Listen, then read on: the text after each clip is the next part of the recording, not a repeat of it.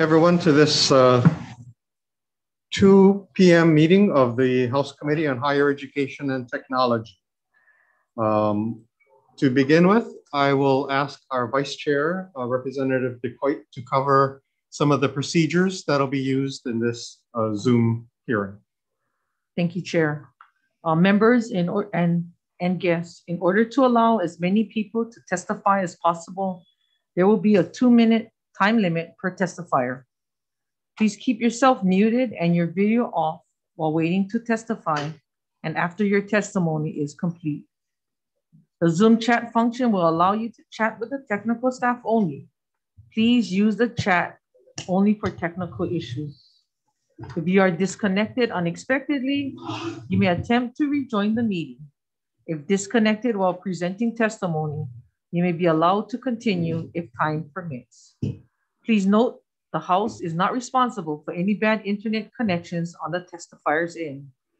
In the event of a catastrophic network failure, it may be necessary to reschedule the hearing or schedule a meeting for decision making. In that case, an appropriate notice will be posted. Please refrain from profanity or uncivil behavior. Such behavior may be grounds for removal from the hearing without the ability to rejoin. Thank you. Thank you. Thank you, Vice Chair.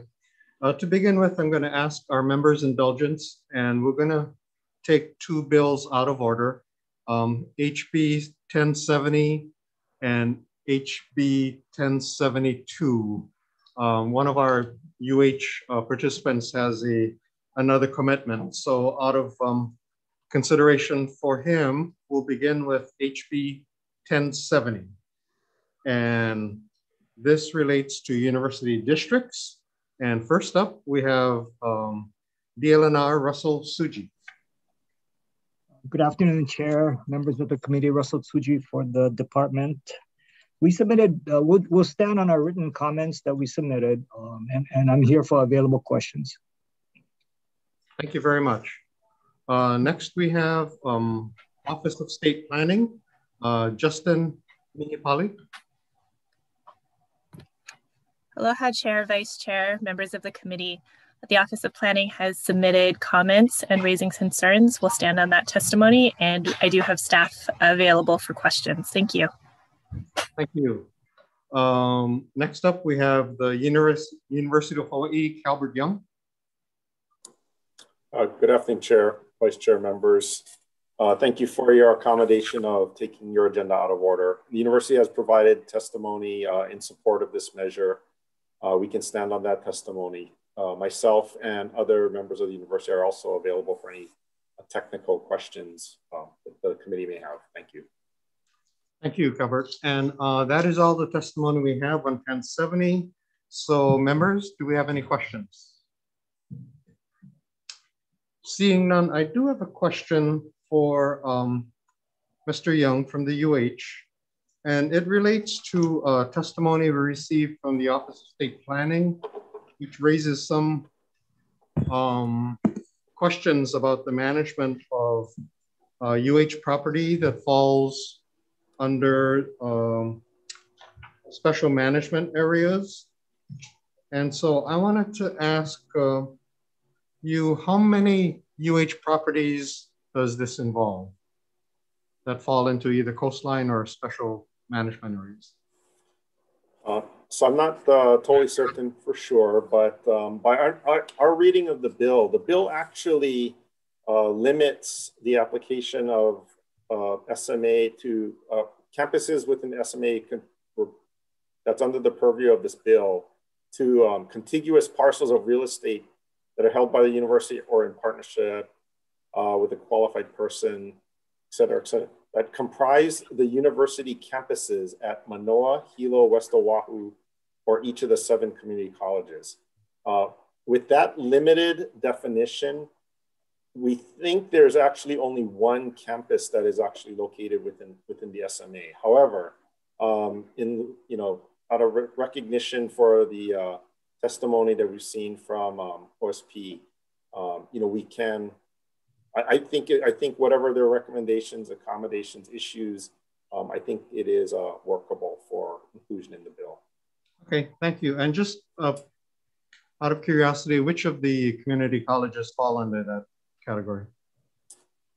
So I, I believe that might be um, Maui Community College. I'm, I, I see um, General Counsel uh, Jesse Souki um, included in the hearing. If you would indulge uh, allowing him, he may have some particular insight. Okay, Mr. Souki, do you have uh, more information for us? Oh, yes, uh, it's just the Maui College in the SMA. It is Maui Co College. Okay, thank you very much. No more questions. Um, let's go on to uh, House Bill 1072, dealing with UH tuition and fees special fund. And we have um, from the UH, uh, Calbert Young. Uh, thank you, Chair. Uh, University of Hawaii has submitted testimony in support of this measure, and we can stand on that testimony available for any questions the committee may have. Thank you. Okay, and that is all the testimony we have on this bill. Um, members, any questions? Seeing none, okay, we'll move on. Thank you. So going back to the original order of our hearing, um, we have House Bill 1067, um, General Contractors Association, Cheryl uh, Walthall, offering support. Um, University of Hawaii, Jan Gouveia. Good afternoon, Chair, Vice Chair, members of the committee. Um, we have submitted testimony in support of this measure and stand on it. We are here to answer any questions. All right, thank you. And um, this is, um, for members' information, a, uh, a UH bill that uh, removes the sunset for this statute. no, seeing no questions, let's move on to HB 1226 uh, relating to violation of privacy. And first up, we have Chris Van Marter, Department of the Honolulu Prosecuting Attorney. Uh, Chris, you may be muted. Or do we have a? Thank you, Chair Takayama. Uh, Chris Van Marter, Deputy Prosecutor. Um, as the chair may know, I was a member of the 21st Century Privacy Law Task Force that was committed by a House resolution in 2019. And as a member of that committee, um, we took up the issue of facial recognition repeatedly, probably five or six different uh, sessions. And at the end of our task force work, the task force decided not to um, propose any legislation in this area. Um, a couple of points I want to make just real quickly. If you were to ask the proponents of this bill whether anyone in Hawaii has been convicted of a crime as a result of facial rec- recognition technology? The answer would be no. Uh, the answer would also be no if you were to ask the proponents of this bill whether anyone's even been arrested in Hawaii as a result of facial recognition technology. They may point to other states. We don't know what software they're using, but what Hawaii is doing has not resulted in anyone being arrested or convicted as a result of facial recognition technology. The ACLU has been a big proponent of this measure. They may point to their study, but the problem with their study has been that they tweaked the software that was used in their study in a way that lowered the threshold that resulted in false positives. And when the study was redone using the thresholds that law enforcement was to use, it resulted in no misidentification. So, uh, pointing to their own study is not a justification for this bill. And just lastly, if we adopt this bill, it's going to make it really hard for law enforcement uh, to investigate cases. For example, the Capitol riot a couple of weeks ago, many of the suspects who invaded the Capitol have been identified with facial recognition software. If we take that tool away from law enforcement, we can't use that in those types of investigations where we literally have to rely on video to identify who these mass perpetrators are. So, for those reasons, we would ask you to defer the bill back to the 21st Century Privacy Law Task Force for more consideration. Thank you. Thank you. Uh, next, we have um, Jake Parker, Security Industry Association. Oh, thank you, Mr. Chairman. Uh, I'm Jake Parker with the Security Industry Association, representing companies that provide safety and security products in Hawaii and nationwide. Our members include the leading developers of facial recognition technology available in the US and others that incorporate it into building systems and other related technologies. We support policies that ensure facial recognition is only used for appropriate purposes and for ethical uh, in ethical ways. The concern we have with this bill, as currently drafted, is that it would instead ban all public sector uses outside of several limited exceptions. Not only would this prevent the adoption of new technology, it would also undermine current beneficial applications in Hawaii. The concerns about this technology center around uses that may have privacy or civil liberties implications. However, many uses of the technology do not raise such concerns. Just like unlocking your phone, facial recognition enabled access control allows a user to unlock a door or access a secured area. It also is used to increase security in and around public buildings, protecting employees, visitors, and other occupants. It also provides touchless access that can be linked to temperature screening technologies. These are now being rapidly deployed to reduce exposure to COVID 19. While the bill provides a limited exception for such uses at airports, uh, these are not the only public sector facilities where the technology is needed. A number of schools and other uh, government facilities in Hawaii do currently use the technology for these purposes, but they would be prohibited from doing so if the bill were enacted in its current form.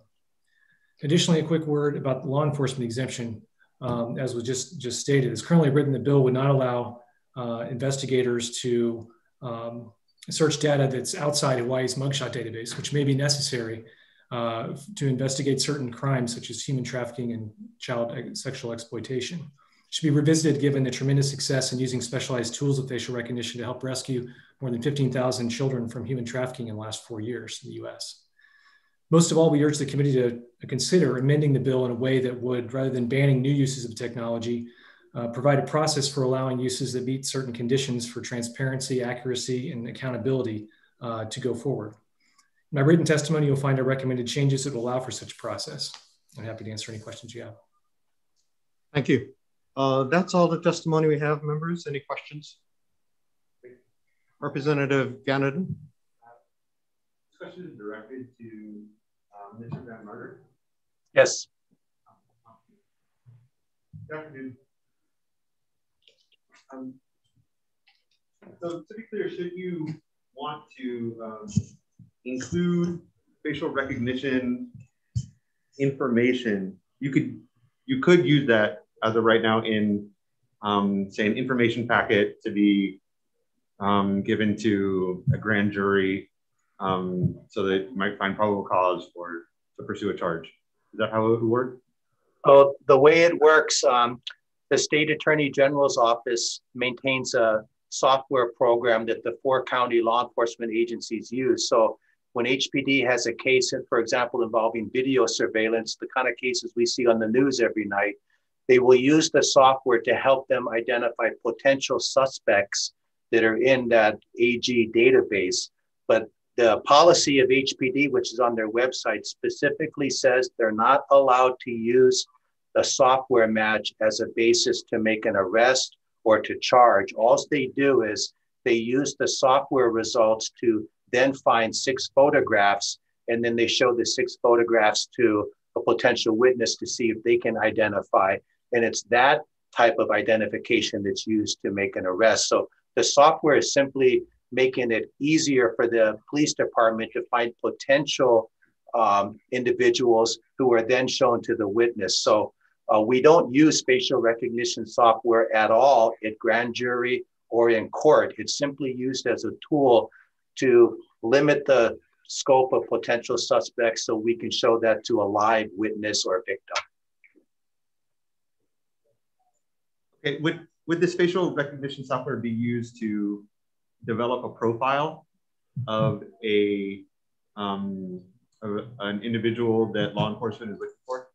No, in fact, uh, HPD's policy, which is on their website, prohibits anything like that. All they're allowed to do when they use the software is to input in the potential features of their suspect. For example, male, female, uh, race or ethnicity, color of hair, eyes, etc. and then the software will give them potential uh, matches. And then they'll take the six best matches, put a photo lineup together, and show the six photos to a potential a victim or witness to see whether they can make an identification. The software doesn't identify anyone, it just produces possible um, subjects that a witness could look at. I'm concerned about is the software exacerbating potential human biases. Um, so, which are kind of well documented in law enforcement, um, kinds of things that uh, civil rights protects. Um, thank you so much for, for your response. Members, any other questions? Seeing none, let's move on to um, House Bill 1312 dealing with uh, intellectual property, uh, UH. Uh, first up, we have uh, Nicholas Comerford, University of Hawaii College of Tropical Agriculture. Thank you, Chair, Vice Chair, and, and committee members. I'm the Dean of the College of Tropical Agriculture and Human Resources.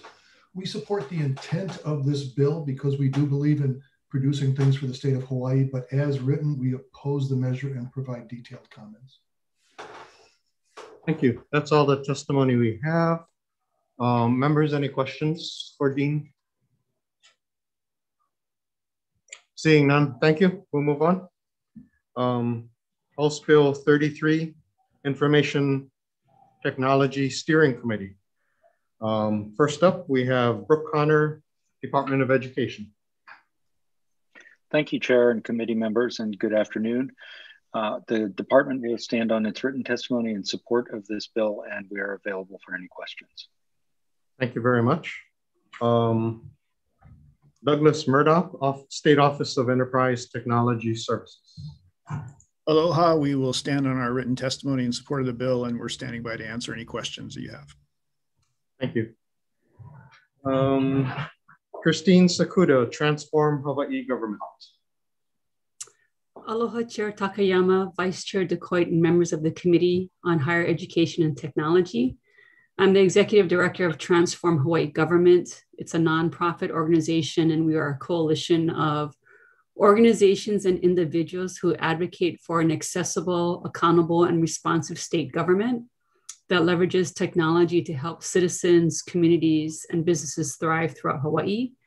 We are in support of this bill. Um, we are, I do sit on the IT steering committee, and um, we are excited to have um, representatives from other departments, such as the Department of Education and the University of Hawaii.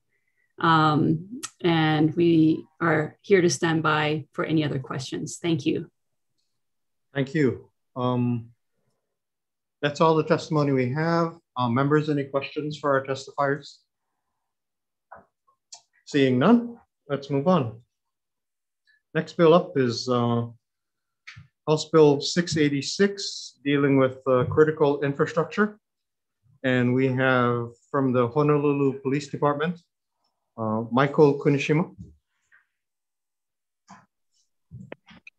Good afternoon, Chair. The Honolulu Police Department stands on its written testimony in support of this bill. We're here for any questions. Thank you.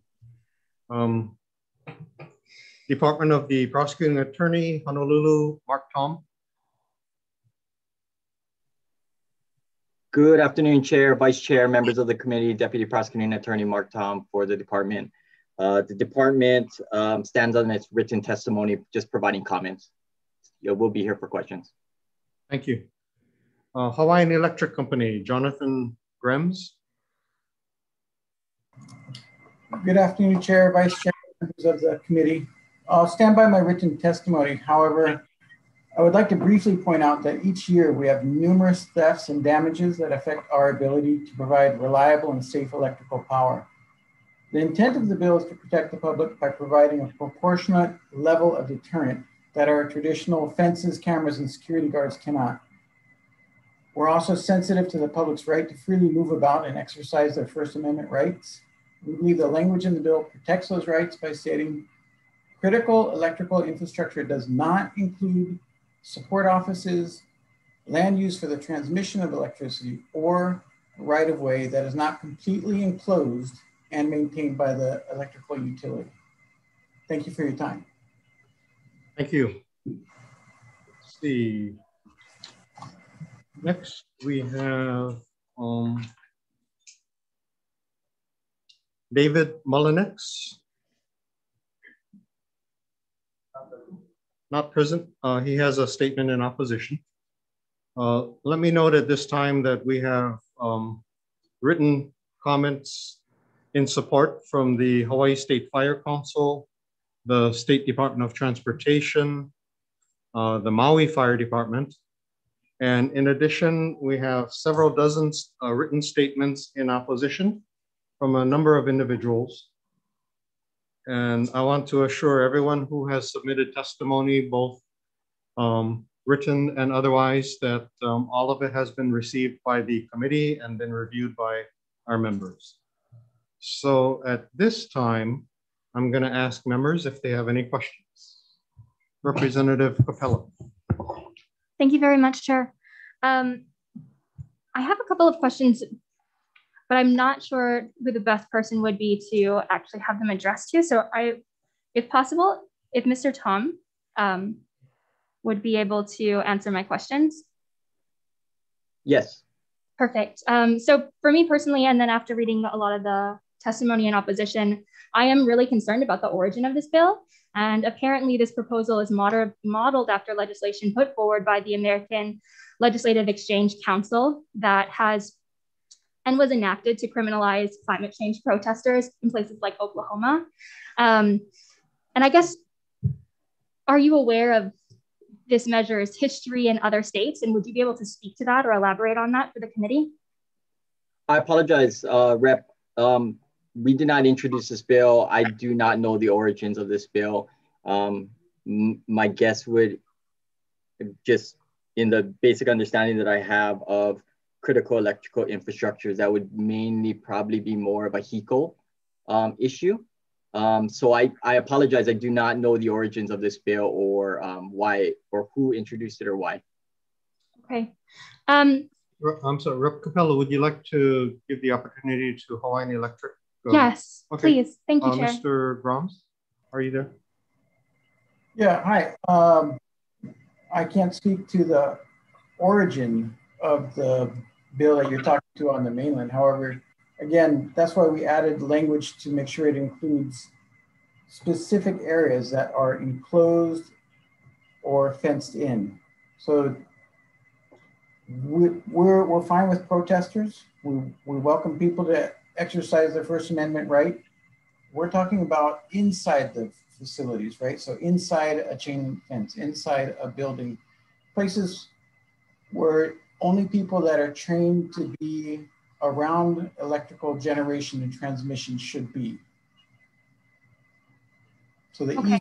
the right of way, the sidewalks, the driveways, all of that exterior of the power plant or the substation is not considered part of this bill.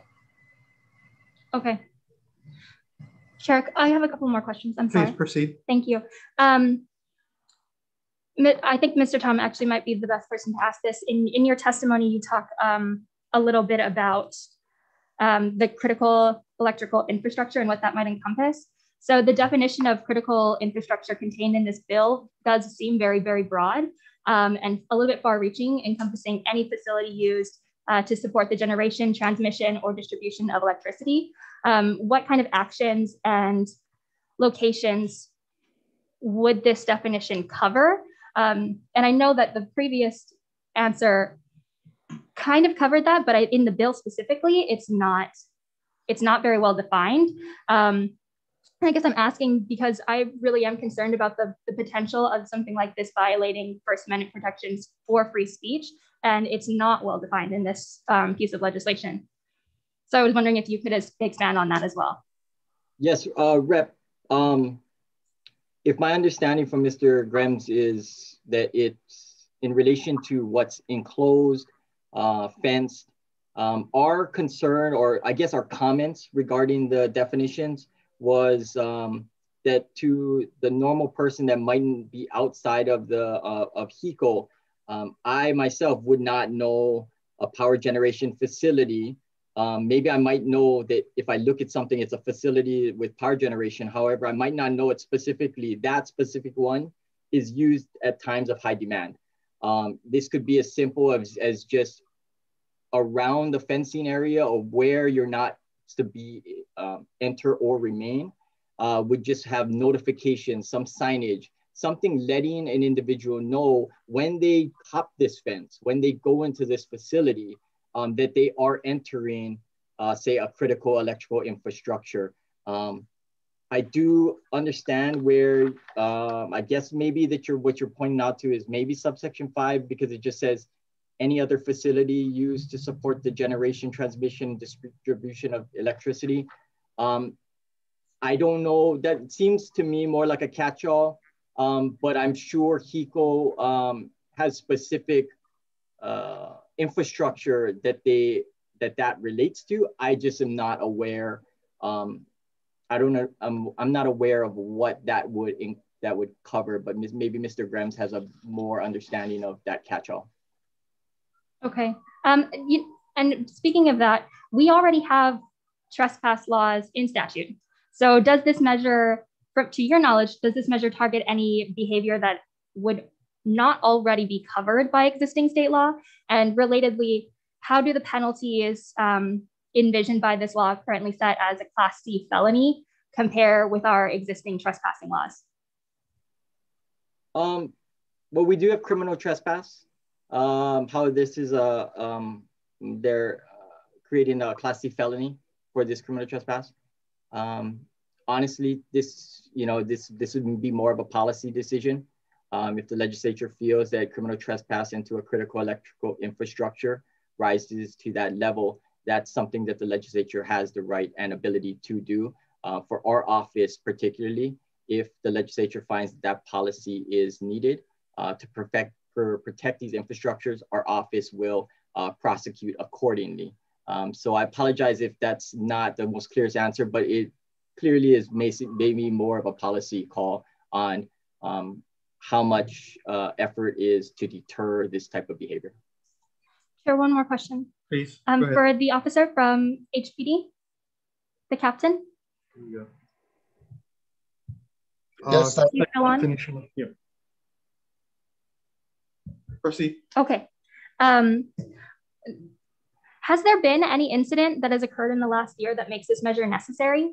Um, because on its surface, it really seems that, and the many people that have provided testimony in opposition have noted that it really just looks like this bill is specifically meant and intended to target climate change and Indigenous rights activists. So I just would like to know if there has been anything um, that ha has happened in the last year. Sorry, um, I, I don't have that information offhand. I, I don't know um, on any type of criminal trespassing that was made that specifically tries to target this. But um, if it did happen and if it, you know, the negative consequences of somebody doing that and not having any um, recourse to address it um, and the severity of you know what damage they could do i think um, warrants you know a higher penalty Okay. Thank you very I, much. I'd be happy to offer some comments to some of your questions. Okay, I'm sorry, who is this speaking? Hi, this is John Grams from HECO. Uh, Mr. Grams, go ahead. Right. So actually over the past three years, we've had 79 known trespassing cases. So those are the ones we've actually caught and turned away after they've entered our facilities. We've had ATVs stolen, we've had a vehicle stolen, over $10,000 worth of copper stolen, not to mention the number of times that we've had to repair these fences or the equipment. As in the testimony from the fire department, we have had several people seriously injured and one actually die. While I was with the police department years ago, I responded several times to, well, at least twice to two people that were died as they entered into these facilities and attempted to steal copper. So there's a need not only to protect the public and the infrastructure but the people actually committing these crimes. And we believe that a higher penalty would be a better deterrent because currently it is a petty misdemeanor to trespass on these facilities. Thank you. Thank you very much, Chair. Thank you, members. Uh, Representative Ganaden, please proceed. Um, following Mr. Grimm's, good afternoon. Following the line of questioning from Representative Kapela, um, copper, to your knowledge, is a stealing a certain amount of copper, to your knowledge, is a class C felony, right? Correct. Right. So you're the examples that you're giving, you would be charging someone with both um, being on the property as well as another C felony. Is that correct? So you're so you're, you're hoping to add, so you're hoping to um, have the state add another charge to um, something that, that, that we just um, added further criminalization, criminalization to just a few years ago. Is that correct? Partially correct, but as you know, when cases get prosecuted, they go in a number of different directions, right? So someone may trespass onto the property and attempt to steal the copper. Prosecutors may choose not to prosecute that part of the case. We would still have the trespass to fall back on. And again, this is more of a deterrent to let people know this is a serious crime. It can cause serious injury or death. All right. Um, to your knowledge, uh, what is what is the Class C felony for um, for theft? So I I believe it's um, correct me, Chair, if I'm wrong. I believe it's um, over seven hundred fifty dollars. That's correct. So um, so if an individual were to go onto a HECO property and steal something that you would argue be over $750, there would also be another class of felony. Is that correct? Possibly, yes. Okay. And then um, breaking and entering, that's also a class of felony, isn't it? Yes, it is. So uh, you probably want to talk to the prosecutor or the police department about that because there are several different degrees. Well, Mr. Grimes, you're, you're asking the state to protect HECO property, so nothing to do. Um, are you interested in lesser included offense? Should this should this proceed? So, um, a Class C felony as well as other charges to be stacked on to people. So, well, would that would that uh, satisfy HECO's desire to create a deterrent? We are, we are open to all suggestions on how to best deter people from coming onto the property and damaging the critical infrastructure or injuring themselves. I'd like to point to page two, line 19. The bill, a power generation facility used, used specifically during times of high demand. In your estimation, what is the time of high demand? Well, it depends on when the use of electricity is greatest, and that depends on several different factors. So you would determine that, not, not it wouldn't be in the statute. That would have to be that would have to be proven by the power generator or the power company. So if someone were to um, commit the C felony of breaking entering onto this private property, and then let's say they came in at uh, 5.55 p.m. Um, and um, just a few minutes earlier, there was a power spike. Now it would be a, a class C felony. Is that what you're intending to do? Based on, based on your assessment later on in court, most likely before a jury as to when there was a high demand? All right. Well, I think you have to keep in mind that the state of mind is reckless. So they have to consciously disregard the unjustifiable risk of their conduct. So we have to show their state of mind as well. So if we can't prove that, then it would fall back to a petty misdemeanor. So there are numerous elements. So you'd have to prove uh, a reckless state of mind, as well as this further element of high demand. Is that correct? The high demand is separate, right? So basically,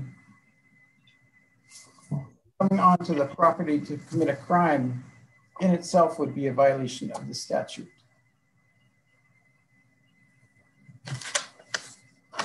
If you, if you were to step onto a power plant, break into the power plant, Waiau power plant, Kahe power plant, that would be, that would fall under the statute. So what we also have are several other places that generate power only occasionally, and those kick in during high demand. So that's what would that would cover be covered in this statute. However, again, we would have to prove their state of mind that they actually were aware of what they were doing and where they were breaking into. Thank you, Mr. Grimes. Uh, members, any other questions? Yeah. Seeing, oh, I'm sorry, Representative Ganaden, you have follow up? I was hoping to, um, thank you, Mr. Grimes. I was hoping to follow up with um, basically the same question to Mr. Tom about prosecutor. Um, you noted in your testimony concerns about um, um, the context of the last conversation, power generation facility used specifically during times of high demand. That might be difficult to prove in um, before a fact finder. Can you explain why? Yeah, I, Rep, I mean, our comments were just, you know, for this bill itself, um, we're just providing comments just to ensure if this is the policy change that the legislature, legislature would like to take, that we're able to prosecute these cases.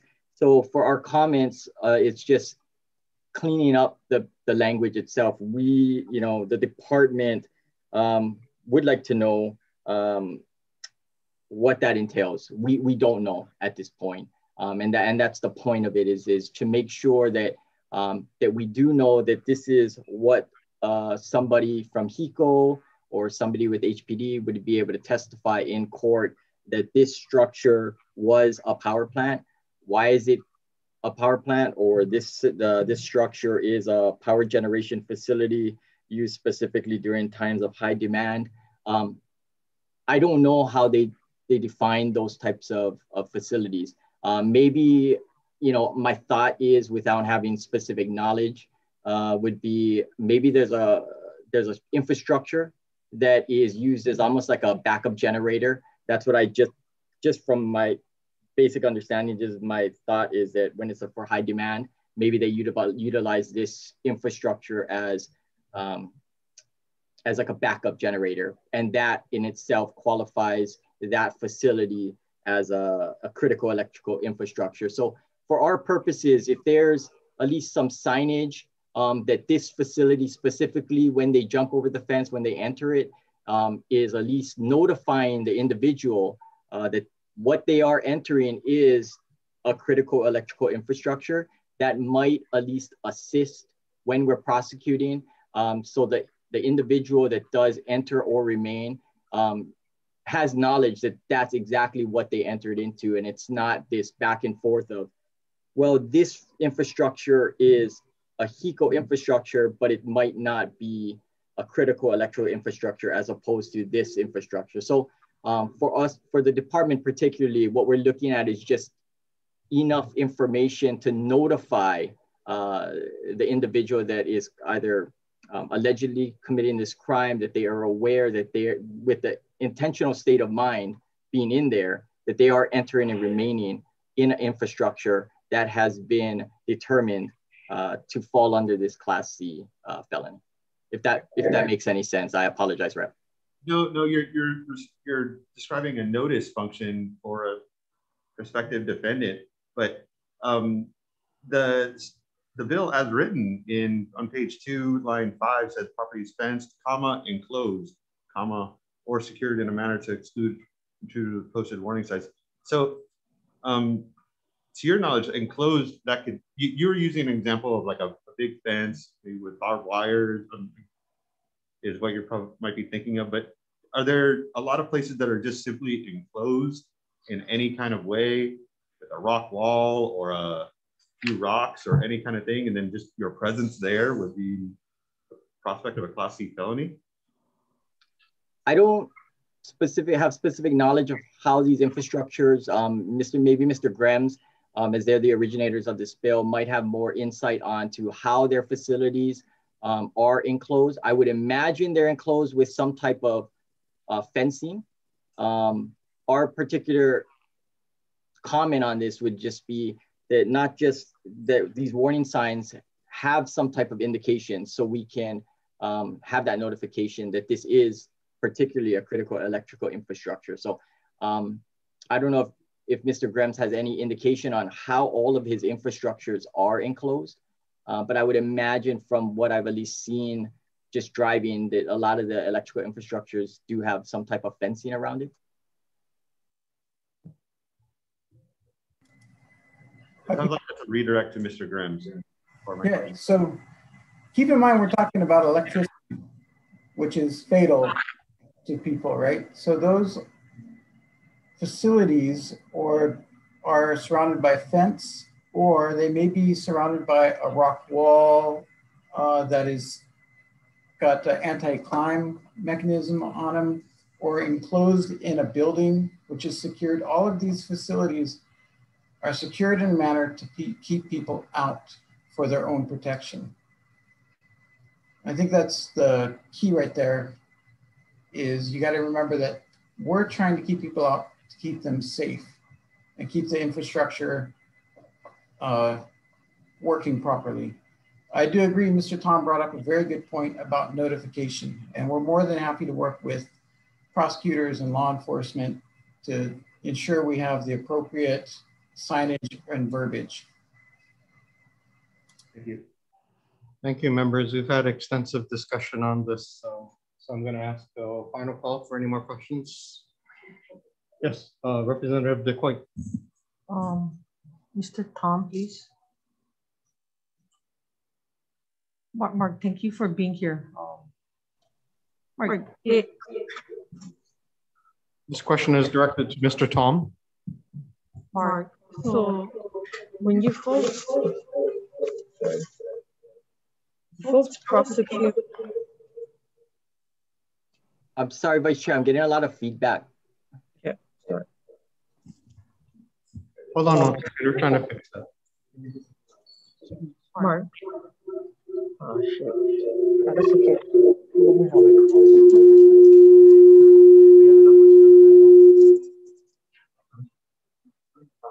Yeah.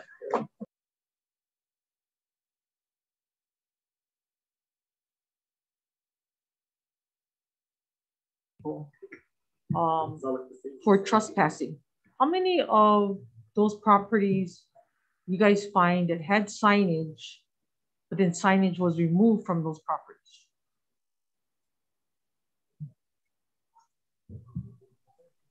I would I would have to look into that, Vice Chair, and get back to you. Um, I would follow up with our traffic misdemeanor division. I think they deal with a lot of the criminal trespass in the first through fourth degree. Um, but I mean, something that I guess in terms of that they would have signage that I know um, a lot of times like um, closed park cases, you know, I could see um, cases where there might be vandalism on the signs that at the beach parks where they say, you know, when we have somebody entering and remaining on a beach park, um, we always have to look to make sure there's signage uh, present uh, to indicate that this beach park or this uh, community center is closed from this time to this time. So anybody in there. So again, it is like a notice. Um, I would say in some of those cases, we do have issues. Um, it, and the issues run into where an individual might be able to enter a beach at a certain point, but never cross any of those signage. Um, so the knowledge element that they are on a place where it is closed to the public at that time period, we run into that issue. We always need to make sure that the, that the sign is uh, clear and unobstructed and that they that the individual that is being cited would have at least come across that sign or should have knowledge that that sign was there before they were cited for that or prosecuted, if that helps. Only reason why I'm asking you that is because most times when I come upon places like that, signs are either ripped down or they're shot at, yeah, or damaged. Um, that, that's what I'm asking. So if, yeah, I wanted to get that information. Thank you. Thank you, Chair. Thank you. Uh, seeing no other questions, let's move on to the next bill, which is House Bill 739 dealing with information privacy. And we have uh, a statement in opposition from the Association of Home Appliance Manufacturers, John Keene, who I do not believe is uh, present. And that's the only testimony we have. So we have no one to ask questions of. Um, so let's move on to the next bill on the agenda, which is House Bill 1069, dealing with the Hawaii Cancer Center Research uh, Special Fund. And we have from the University of Hawaii, Randall Holcombe. Dr. Holcombe. Thank you, Chair Takayama. This is, uh, and uh, members of the committee, this is Clifford Martin. I'm the Associate Director for Administration, speaking for uh, Dr. Holcombe. Uh, the UH Cancer Center has submitted testimony in support of this bill, and we stand on this testimony. I'm happy to answer any questions. Thank you. All right, thank you. Members, any questions? Uh, seeing none, let's move on to the final bill. Um, House Bill 1071, dealing with the Board of Regents of the University of Hawaii Independent Audit Committee. And we have from the Board of Regents office, uh, Kendra Oishi.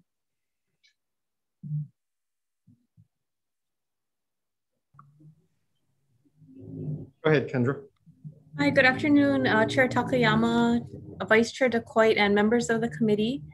Uh, Kendra Oishi from the, uh, I'm the Executive Administrator and Secretary of the Board of Regents. Um, it, testifying in support of this bill and requesting an additional amendment and um, I'll otherwise just stand on my testimony and available to answer any questions. Thank you. Uh, that's the only testifier we have on this. Members, any questions? And before we uh, proceed, just let me explain that the um, amendment requested by the Board of Regents would add a subsection that allows executive meetings um, with this audit committee with auditors. And secondly, allow meetings to proceed without the president of the university or uh, the chief financial officer present. So members, any questions? Seeing none, we'll recess for decision.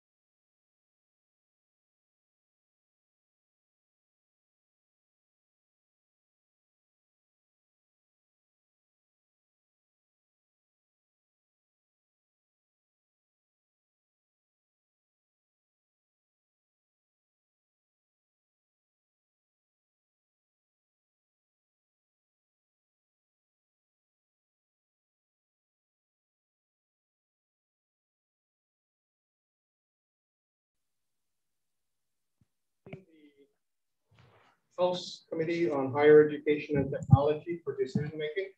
First bill, we have um, House Bill 1067 relating to procurement exemption for the UH, uh, removing the sunset date. Um, Chair's recommendation is to move this out of the House draft with uh, technical amendments and um, adding a defective 26. Uh, any questions, comments, or concerns? Uh, Vice Chair, would you take the vote? Members, recommendation of chairs to pass with amendments. Uh, Chair and Vice Chair vote aye, recognizing all members here. Any reservations or needs? Seeing none, Chair, your measures adopted. Thank you, Vice Chair. Next bill, House Bill 1070 relating to exempting University of Hawaii campuses from certain uh, county uh, district permitting um, requirements. Uh, my suggestion is to move this out as a move this out as a house draft, but deleting the uh, section of the bill 304A, which uh, would have exempted UH uh, campuses from shoreline and special management area requirements. So um, also adding a defective date and technical uh, corrections. Any questions, comments, concerns? Uh, seeing none, Vice Chair. Chair, uh, rec um, recommendation of chair is to pass with amendments. Chair and Vice Chair vote aye, recognizing all members here. Any reservations or nays? Seeing none, Chair, your measure is adopted. Thank you. Uh, next bill is House Bill 1226 relating to violation of privacy. Uh, we um, heard testimony that this proposal may unintentionally impair the ability of law enforcement officers to do their job and other unintentional effects. So can to defer this measure. House Bill 1312 relating to intellectual property. Uh, we heard concerns from uh, the Dean of CTAHR, um, but I'm going to keep this measure alive. He expressed the willingness to talk to farmers who've expressed interest in this bill, and um, hopefully something can come of this dialogue. So I'll move this out with a defective date. Um, questions, comments, Vice Chair? Members, recommendation of chair is to pass with amendments. Chair and Vice Chair vote aye. Recognizing all members here. Any reservations? Any nays? No vote. No vote for Rep. Okimoto. Chair, your measures adopted. Thank you. Our next bill is House Bill 33 relating to the Information Technology Steering Committee, changing some um, uh, term limits and uh, composition of members. Uh, Chair's recommendation is to move this out as a House draft with technical amendments and uh, effective date. Questions, comments, concerns, uh, Vice Chair? Members, recommendation of Chair is to pass with amendments HB 33 Chair and Vice Chair vote aye, recognizing all members here. Any reservations? Reservations, please. Reservations for Okimoto. Any nays? Seeing none, Chair, your measure is adopted. Thank you. Uh, this next bill, House Bill 686, relating to critical infrastructure. Uh, we had extensive discussion on this. Um, I'm going to recommend we move this bill out with amendment to um, delete a section on page two, lines 19 and 20, subsection two that makes reference to facilities um, used in periods of high demand, because that provision is um, unclear uh, in terms of enforcement. Um, I'll also want to note in the report language that um, recommend that the Judiciary Committee consider whether elevating this crime to a Class C felony is appropriate. Um, because it is currently a petty misdemeanor, but ask the Judiciary Committee to consider that uh, further. Also in the report language, um, make it clear that this measure is not intended to interfere with uh, peaceful demonstrations or lawful protests. Members, any questions or comments or concerns? Representative Chair, I appreciate your notes um, that you're adding into the report. Um, but because the language is still the same, and I do still have the same concern for um, Native Hawaiians and Indigenous rights activists, I will vote no on this. But I do appreciate your um, reports. Thank you. Any other members? Seeing none, Vice Chair. Members voting on HB 686 with all those amendments. Uh, Chair and Vice Chair vote aye. Uh, Rep Kapela votes no. Any reservations? Any other nays? No vote. No vote. Yeah. Rep Gallagher votes no. Chair, your measures adopted. Thank you. Next bill is uh, House Bill 739 relating to information privacy. Um, can I defer this bill? Uh, can we further study? Um, House Bill 1069 relating to Hawaii Cancer Research Special Fund. I mean, amending the uh, reporting requirement, reporting, reporting requirements. Um, recommend moving this out as a House draft, changing the uh, uh, making a effective date and technical changes. Questions, comments? Uh, Vice Chair? Members voting on HB 1069, recommendation of chairs to pass with amendments. Chair and Vice Chair vote aye, recognizing all members here. Any reservations? Any nays? Seeing none, Chair, your measure is adopted. Thank you. Uh, House Bill 1071 relating to the Board of Regents uh, Audit Committee. Chair's recommendation is to move this, uh, adopting the amendment suggested by the Board of Regents um, to allow executive session of um, meetings with auditors and also allowing the exclusion of UH president and chief financial officer from these meetings, along with the effective date and technical changes. Questions, comments? Vice Chair? Members voting on HB 1071, recommendation of chair is to pass with amendments. Chair and Vice Chair vote aye. Recognizing all members here, any reservations?